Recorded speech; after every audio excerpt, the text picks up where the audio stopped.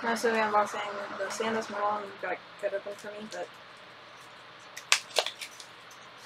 this is a SanDisk Cruzer 2.0 32 gigabyte. Oh, ow. I already gave myself one paper cut, I don't need two.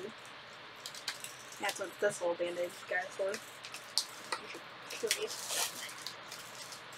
Yeah, let's see. Okay, so this is how its mechanism works. Mommy, it's a slider. Okay. Yeah, is it like our other one where you have to make sure to hold it to get to go in? Yeah. Okay, sorry. Yeah, oh, I like that. Anyways, that's it.